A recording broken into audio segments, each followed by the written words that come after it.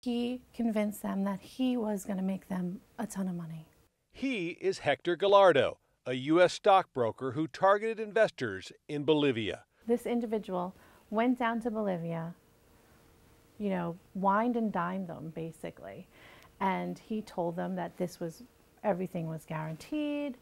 You can make money in the stock exchange. You just get you just have to send me the money and I will take care of everything for you. He told them that they could get a, basically the rate of return about 18% guaranteed.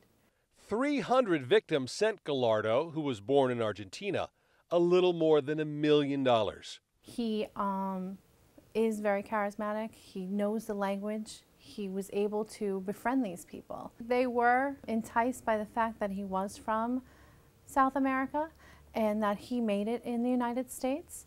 Um, so they figured that he would help them make it. The people who invested with Gallardo were not rich.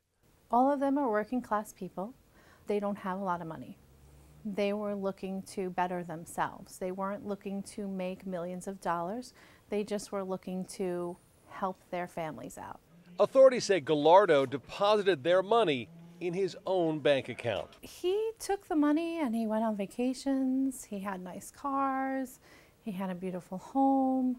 He just spent the money any way he wanted to, to make his life better. The takeaway from this case? If somebody is guaranteeing you a rate of return that is much higher than you know to be factual, it's most likely a scam.